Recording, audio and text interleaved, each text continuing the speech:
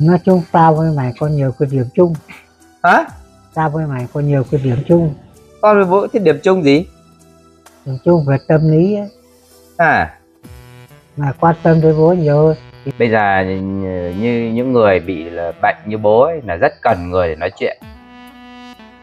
Để hướng cái tâm lý của mình đi đúng đúng đúng lúc đúng chỗ. À đúng để, không? để không suy nghĩ lung tung. Ừ. không suy nghĩ lung tung rồi là không nghĩ những cái điều tiêu cực thì cuộc sống nó cảm thấy nó vui lên. Thì sống hàng ngày nó có ý nghĩa hơn. Nó còn có nghĩa. Và thế bây giờ người già mà cứ để lủi thủi một mình nay đi ra đi vào con cái không thấy ai mà con thấy cũng không nói chuyện thì thì, thì mình phải buồn chứ. Thấy người ta có câu là trẻ cậy cha già thì cậy con có biết chuẩn ra già là phải cậy có con cái để trò chuyện, để ờ, tâm sự, để hiểu nỗi lòng cha mẹ. Cha mẹ bây giờ già cả rồi, làm kiếm tiền thì không kiếm được nữa rồi.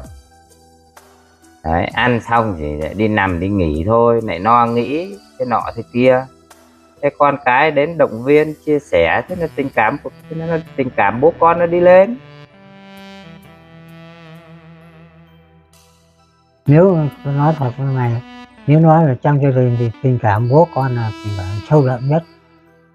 Đó. mà tình cảm ở ra bất cứ một gia đình nào. Mà nó có những cái ý nghĩa tuyệt vời đó. Vâng